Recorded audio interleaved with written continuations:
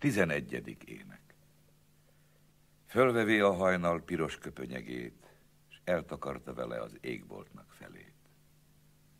De nem volt oly kényes a bársony ruhába, hogy benne pillancson a szegény csárdába. Betekint fél szemmel egy törött ablakon, hát csak a cimbal most látja benne egy padon. Kint sem lát egyebet az öreg szolgánál, aki dolgát végzi jó rigólovánál. Aztán széttekinte Pesten és Budában, nézegette magát a széles Dunában.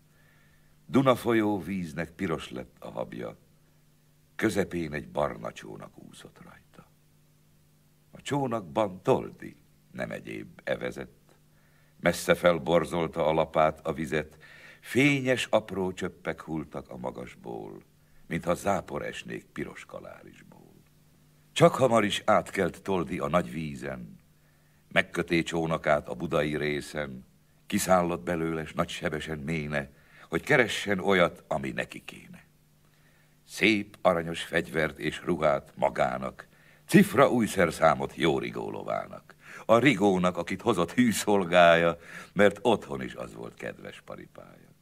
Vett is, amit kívánt, pajíst, szépet, nagyot, Dolmányán a szabó parasztot nem hagyott. Mindenütt belepte az aranypaszománt. Vett sisakot, páncélt, héttollú buzogányt, kopját is, gerejt is, mindenféle fegyvert, melyeket Budán a legjobbik kovács vert. Ezüstös, aranyos, sallangos szerszámot. Egy szó annyi, mint száz, mindent megvásárolott. Hogy a csárdába ért, felöltözött szépen, tollas buzogányát forgatá kezében.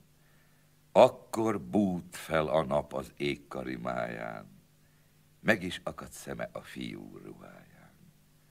A rigó sem az volt, aki tegnap estve, sárral, útiporral, szürke szídre festve, hanem fekete, mint a fekete bogár. Elsikamlott szőrén a fényes napsugár.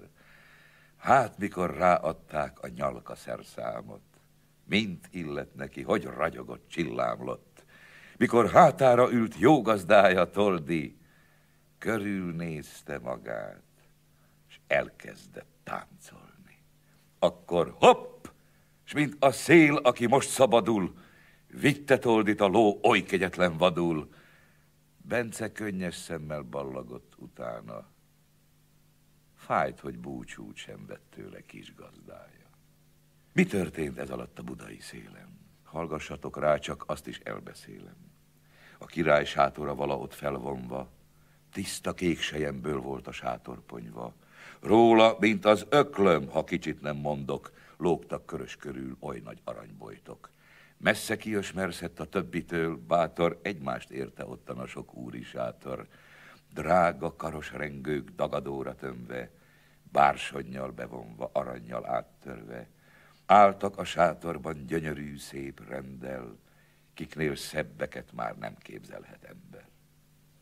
Egy öreg szék is volt a kellő középen, fényes drága kővel kipitykézve szépen, nagy aranykörmével a földet karmolta, mely bársonypokróccal szinte bé volt vonva. A sátrak el voltak rekesztve korláttal. Tilos volt parasztnak lépni azon által. Kívül fegyveres nép és tömérdek ember az üres sátrakat majd elnyelte szemmel.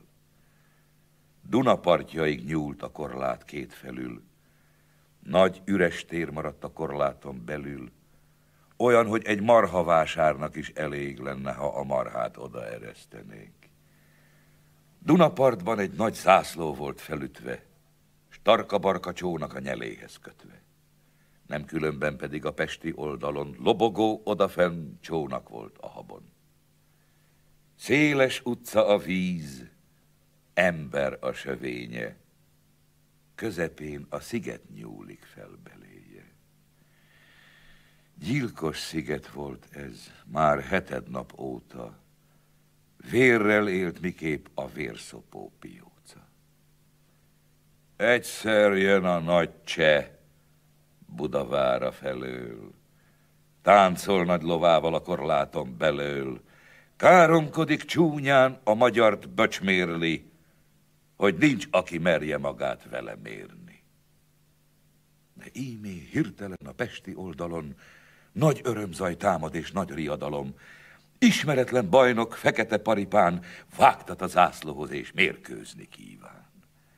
Sisak ellenzője le vagyon bocsátva, csúcsáról fehér toll libeg lobog hátra.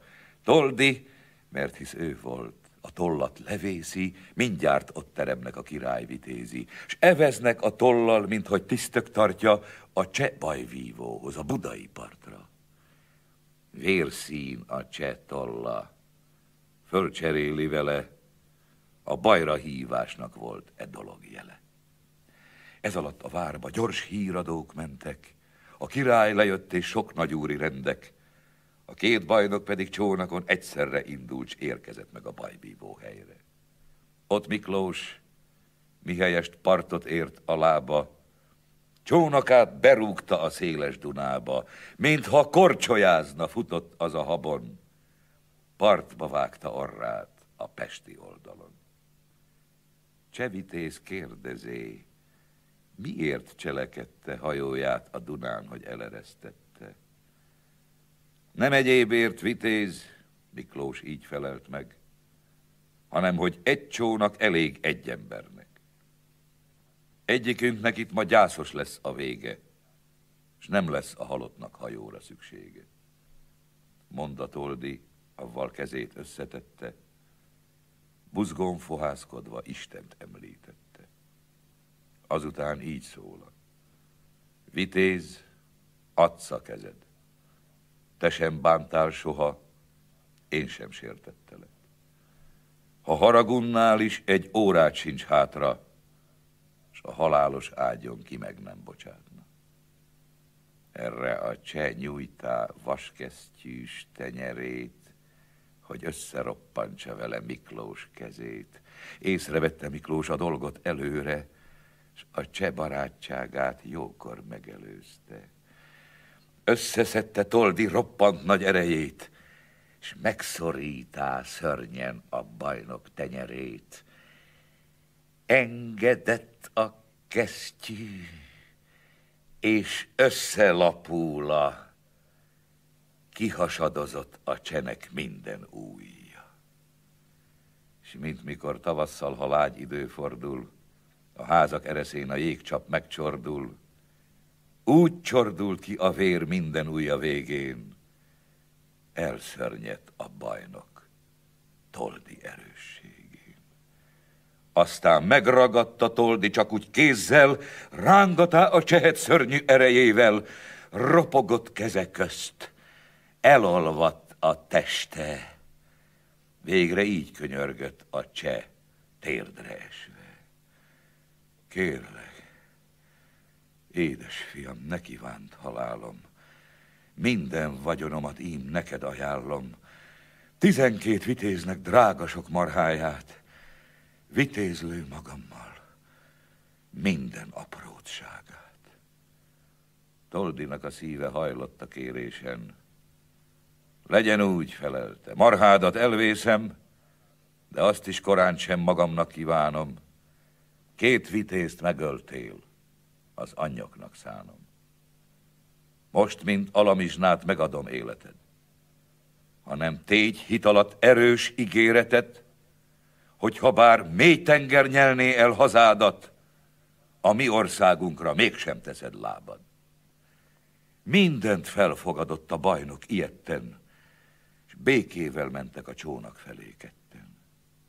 Hát egyszer a nagy cseh neki húzakodva, Toldihoz hátulról hozzávág orozva. Szerencse, hogy Toldi a Dunatükrében meglátta, és megkapá a kardot kezében. Leborult a nagy cseh, kegyelem, irgalom, eredj, kérd Istentől, útat megmutatom. És amely kardot ő az álnok csetől elvett, avval adott néki örökös kegyelmet. Íziben elmetszé fejét a testétől, piros lett a nagy kard gazdája vérétől. Toldi felmutatja a fejet a kardon, nagy rivalgás támad két felől a parton. tapsolnak, kiáltnak, zászlót lobogtatnak, Buda nagy hegyei visszakorjangatnak.